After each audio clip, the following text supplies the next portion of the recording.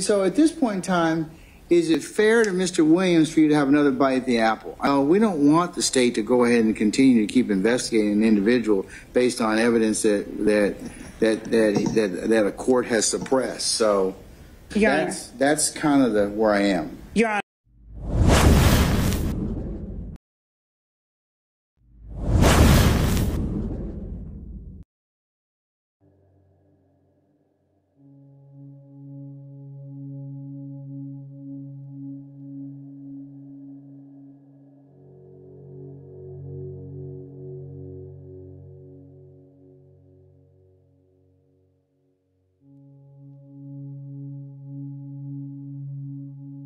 What's up? What it do? Integrity TV, tap in, tap in. It might be hope for Young Thug after all. Looks like the prosecutor was using illegal means, top chain evidence against Young Thug. And the judge ain't going for it. If Judge Newkirk has already suppressed the marijuana on that same under the same analysis, okay, then why wouldn't the rest of the stuff that you took be suppressible at that point in time and through the poisonous tree?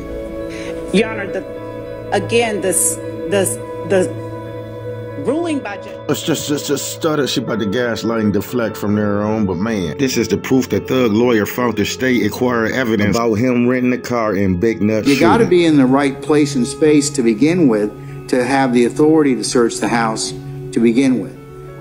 Mr. Steel and his motions asked for suppression of anything that was taken in the house. So, marijuana and the and, and anything else that was the basis of that.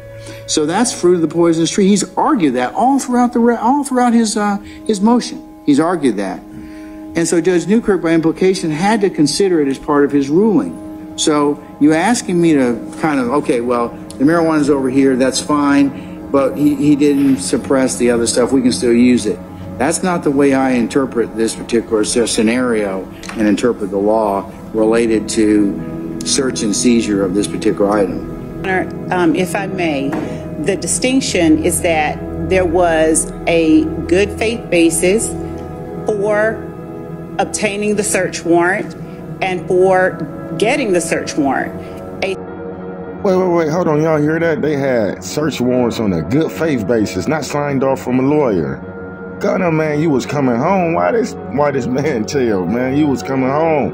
Time served, that man, you was coming home. But unfortunately, you was all they needed for them to establish that YSL was a criminal organization and gang. And the young thug was the leader. And your boy Walter Murphy sealed the deal saying they started YSL in 2012, man. They said prosecutorial misconduct to the side. We got these boys. And before I took a closer look at Young Thug trial, I was thinking at the time, well, it might be a wise thing for his defense team to take the best deal on the table. And if he didn't, gonna be subpoenaed to testify. And we was watching the death of a dynasty in real time, the downfall of King Slime. Fuck you talking about? Shit, as I'm seeing, if it's a will, it's a way. Through every dark night, it's a brighter day. You hear me? And I think Thug go walk. I think he go wiggle up out of there. But next time y'all with gang now, look to the right and left of yourself. Cause them niggas around you might be solid as wet tissue. Worst case scenario, he gotta do that state time, you know, so free to slime and what's left of YSL. You know, the ones that didn't tell. Gunna said he getting his record expunged after his community service, so they'll never ask him about this case again. So let me know in the comments. Do you think Young Thug got a chance to beat the state of Georgia in the court of law due to prosecutorial misconduct? Or is he in too deep? Did Gunna kick him on the ground while he was down and Walter put the nail in the coffin? Don't forget to like, comment, and subscribe.